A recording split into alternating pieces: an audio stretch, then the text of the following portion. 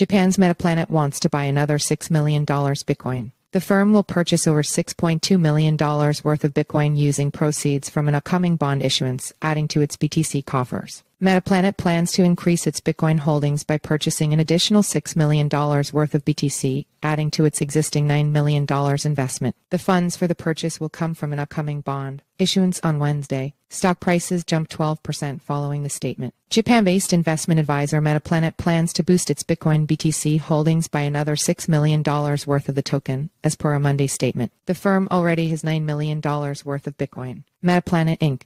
3,350 JP hereby announces that the board of directors has resolved to purchase Bitcoin worth 1 billion yen. As of today's meeting, it said, while our basic policy is to hold Bitcoin for the long term, if we use Bitcoin for operations or other purposes, the corresponding Bitcoin balance will be recorded as current assets on the balance sheet. The funds for the purchase are sought from an upcoming bond issuance on Wednesday. These have an annual interest rate of 0.